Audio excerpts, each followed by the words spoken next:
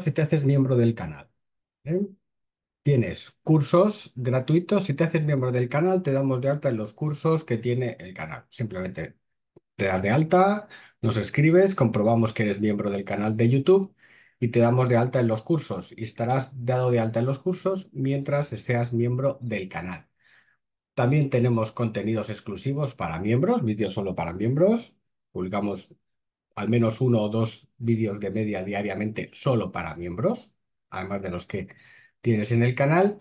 Y tenemos un directo para miembros todos los miércoles a las 7 de la tarde. a los miembros os indicamos dónde os tenéis que conectar. Es una reunión por Zoom que dura aproximadamente 40 minutos, todos los miércoles a las 7. Cursos, vídeos exclusivos y directo para los miembros a las 7 de la tarde los miércoles. Y ojo, puedes preguntar todo lo que quieras. Así que, ¿a qué esperas? Ahora el vídeo.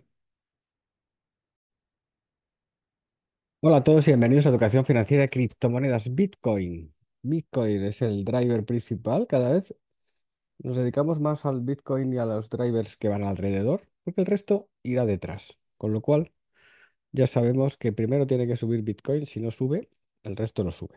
Esa es la pregunta del millón. Ahora nos veremos. Primero, se dispara la entrada de Tether en los exchange. Bueno malo, en principio señala alcista, eso está claro. En, en, agosto ha habido un aumento de la entrada de Tether que presajan nuevos tiempos para criptomonedas.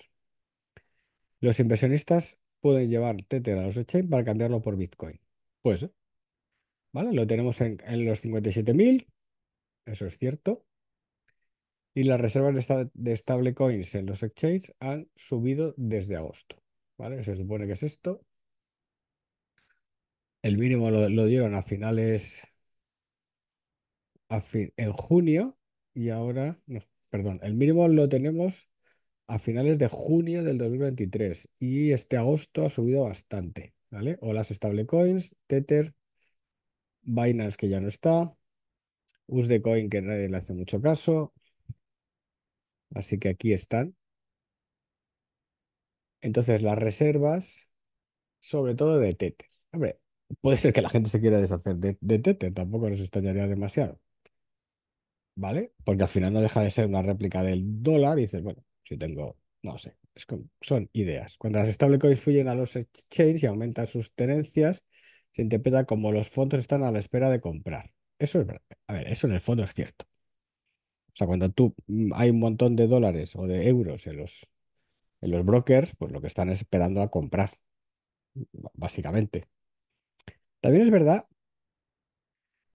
que hay una extraña sensación en la renta variable. Y esa es la que a nosotros nos tiene acojonados. Fijaos, para nosotros el driver principal de las criptomonedas no está en las criptomonedas. Está en la renta variable. Si la renta variable sube, sube, vale, pero cuando la renta variable baje, se van nos vamos a despeñar. Su aumento de saldos en los exchanges tiende a reflejar una mejora en el sentimiento y, que posiblemente sean cambiados por activos volátiles como Bitcoin o el resto de criptos. El aumento de, tenencias de, Tether en los exchanges no significa que Bitcoin se subirá inmediatamente, pero que puede pasar, debido a que se trata de fondos en espera. Es importante señalar que la tendencia del mercado no está claro. la economía global es difícil, me encanta. Bueno, eh, de momento, Tether sube, que eso es bueno. También que nos dicen aquí, Bitcoin está fluyendo de las manos de papel a las manos de diamante. Las métricas, estas son métricas. La pregunta del millón al final es, ¿subirá Bitcoin? ¿Cuándo? Porque el resto ya va después. Entonces, vamos buscando métricas. La primera, las entradas de dólares de Tether. La segunda, Métricas on-chain que muestra que los inversionistas más fuertes están comprando con la caída de Bitcoin. ¿Vale? Están comprando. Los poseedores de Bitcoin a corto plazo, como manos de papel, han comenzado a ceder sus posiciones, mientras que los inversionistas de, largo plazo, manos de diamante, han aprovechado la oportunidad para aumentar sus tenencias. Posiciones netas de los titulares a corto plazo han disminuido. Pues aquí estás. ¿Vale? Las negativo, el precio, las diferencias positivas, diferencias negativas, pues han bajado. Las líneas rojas representan el flujo de estos inversionistas que están desanimados por la volatilidad, re- reducieron su exposición a Bitcoin. Las manos de papel son toma de decisiones impulsivas o no, o están especulando. Hay dos tipos de manos de papel. Hay unos que son meramente especuladores, que compran y venden y les da un poco igual lo que haga el precio en el largo plazo, y otros que sí, que intentan comprar y buscar a lo mejor una mejora, pero si ven que no sube se van a otra cosa. Tampoco yo tengo muy claro este tipo de, distinción, porque hay mucho trader de corto plazo que le da igual Bitcoin que el petróleo que el eurodólar. Las manos de diamante se mantienen fieles a Bitcoin, ¿vale? Aquí tenemos el de largo plazo. Fijaos, el de largo plazo ahora está incrementándose. Bueno, esto es- quizá nos puede ayudar más. Pero bueno, entre comillas, porque fijaos aquí, aquí hay caída. O sea, aquí subió a lo bestia y las de largo plazo vendieron. Entonces, aquí baja y las de largo plazo compran. No, lo sé. Cosas un poco raras, la verdad. ¿Vale? Los titulares a largo plazo han aumentado posiciones netas en Bitcoin, lo que sugiere confianza. Confianza o que tú compras y ya está, buscando. A ver, tú compras más bien porque piensas que es un buen precio de cara a largo plazo, pero claro, el largo plazo puede ser un mes o 10 años. Este comportamiento es una señal alcista, ya que este tipo de inversionistas no se dejan influenciar por las fluctuaciones diarias. A ver, yo estoy seguro que si Bitcoin sube de aquí a final de año un 60%, hay mucha gente que toma beneficios, seguro. Vamos, todo clarísimo. El flujo constante de Bitcoin de manos de papel a manos de diamante hace una fortaleza del mercado a largo plazo. Y los inversionistas aprovecharon meses de agosto y septiembre. Los meses de agosto y septiembre suelen ser bajistas y octubre empieza a ser alcista. Eso lo hemos hecho nosotros y hemos dado una fecha del 17 de septiembre para comprar. A lo mejor igual es pronto, pero desde luego septiembre y octubre son meses de compra. Para luego seguir subiendo. A ver, no nos engañemos. Esto es así de sencillo. Compres en octubre, vendes entre marzo y mayo y ya está. Vuelves a comprar en octubre y vuelves a vender entre marzo y mayo. Ya está. Está pasando en los últimos años. ¿Vale? Bueno, pues esto es la historia. Luego, esto nos parece rarísimo, lo vamos a quitar. Las Bitcoin. Y esta es cuando volverá al mercado alcista. Pues este es el directivo de Bitwise. Estima que este mismo año el precio de Bitcoin podría dispararse al año. O no.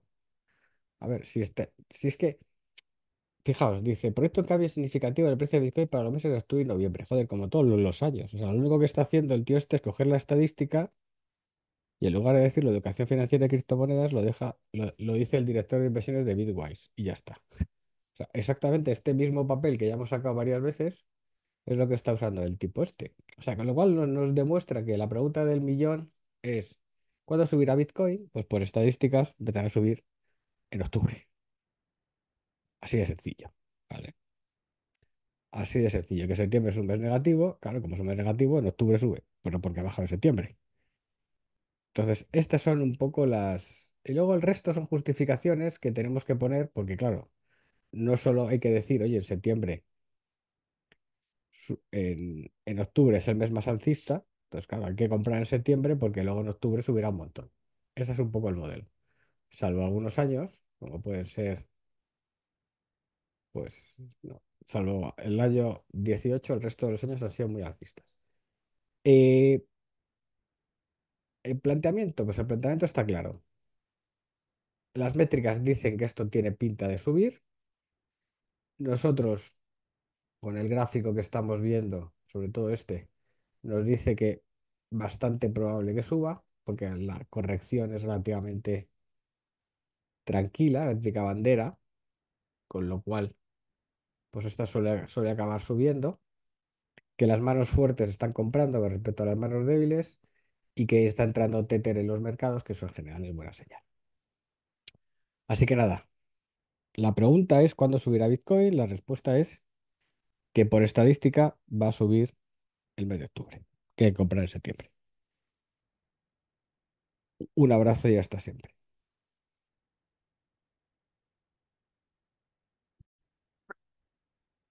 Hola a todos y bienvenidos a Educación Financiera y Criptomonedas. Una noticia importante, saldremos al mercado en 2025 a un precio de 0.04.